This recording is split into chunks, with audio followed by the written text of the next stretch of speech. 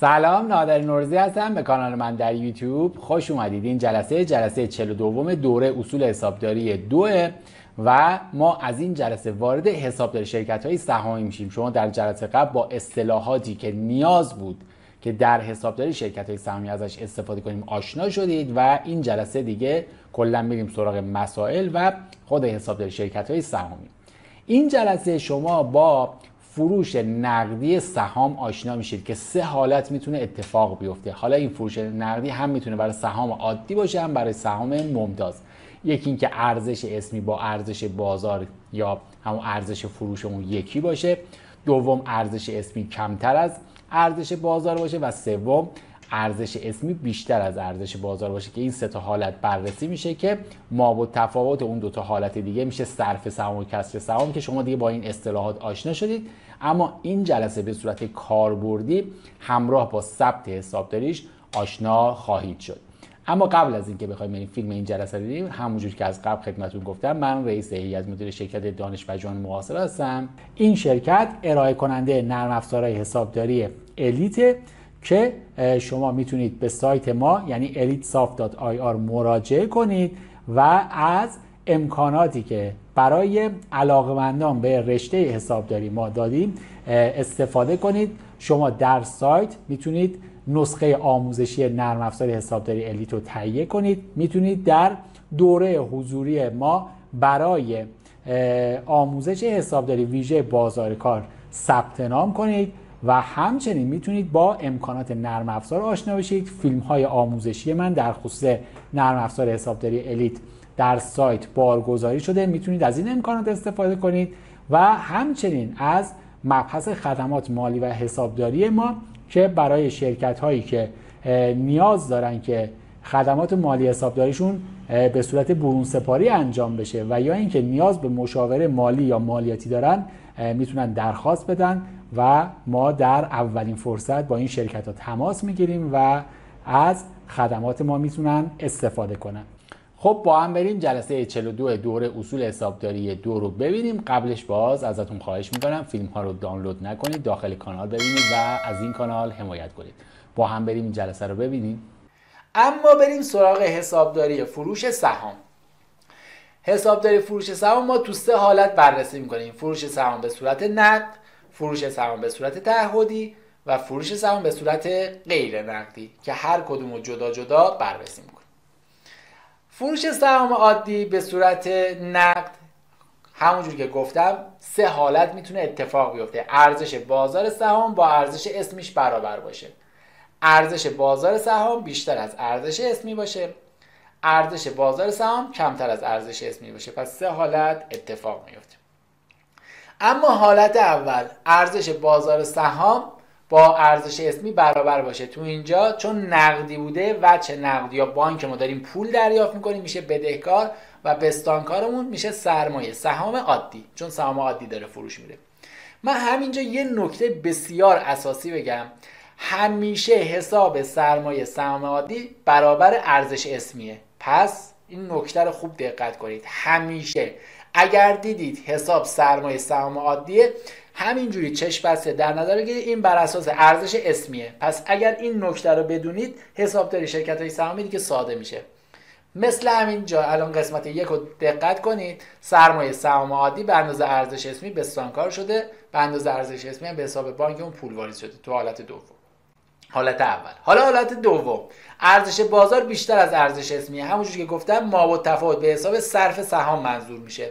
حالا ببینیم چه اتفاق میفته.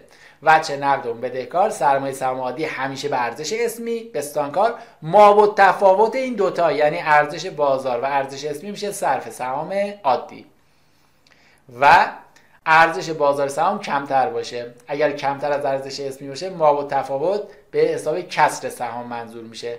یعنی وچه نقد کسر سهام بدهکار و سرمایه سهام عادی به ارزش اسمی بستانکار همجور که فرمول هم می‌بینید صرف یا کسر سهام مساوی ارزش بازار منهای ارزش اسمی. اگر ارزش بازار منهای ارزش اسمی مثبت شد میشه صرف. اگر منفی شد میشه کسر. همینو فروش سهام به صورت نقد برای سهام ممتاز هم هستش. یعنی اگر سهام ما فقط فرقش چیه با عادی؟ اگر سهام ممتاز بود به جای سرمایه سهام عادی ما می‌نویسیم سرمایه سهام ممتاز. یعنی همون سه حالت هست.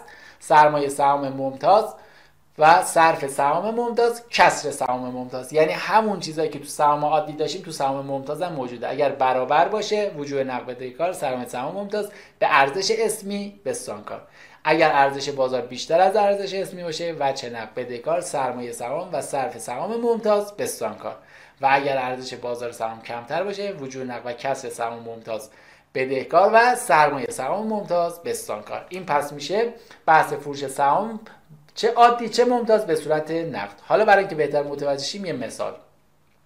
یه شرکت سهامی در نظر بگیرید تعداد هزار سهم عادی به ارزش هزار ریال و یعنی ارزش اسمیش هزار تا. و 500 سهم ممتاز به ارزش اسمی 2000 ریال صادر و به صورت نقدی فروخته. سه تا فرض مستقل داریم.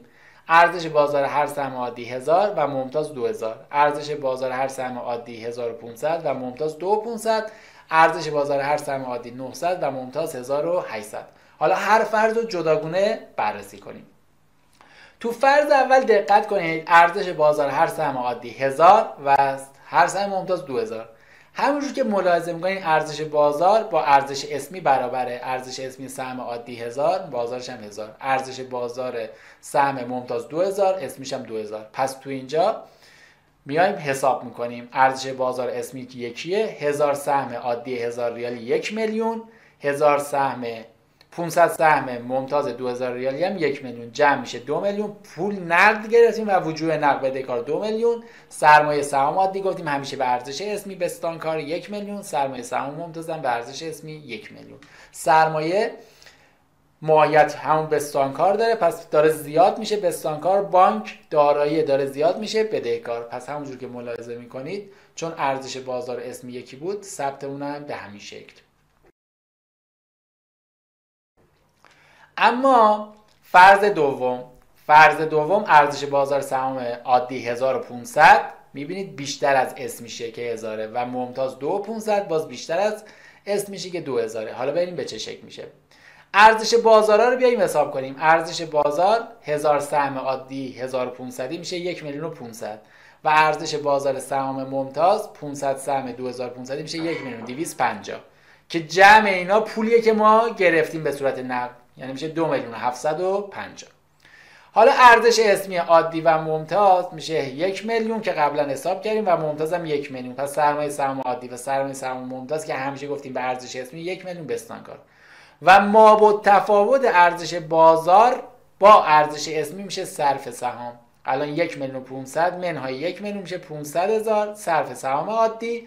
و یک میلیون 250 ارزش بازار ممتاز. منهای یک میلیون میشه 250 هزار. صرف سهام ممتاز. همونجور که ملاحظه می‌کنید صرف سهام هم مایت بستانکاره. تا اینجا اگر سوال دارن دوستان خب ادامه بدیم. و فرض سوم ارزش بازار هر سهم عادی 900 و ممتاز 1800 همونجور که ملاحظه می‌کنید کمتره. پس اگر کمتر باشه ما کسر سهام داریم. حالا باز حساب کنیم. هزار سهم 900 ریالی میشه 900 هزار ارزش بازار عادی 500 سهم 1800 میشه 900 هزار ارزش بازار ممتاز. ارزش اسمی هم که قبلا حساب کرده بودیم. بازار منهای اسمی میشه 100 هزار منفی پس کسر سهام عادی. بازار منهای اسمی میشه 100 هزار کسر سهام ممتاز.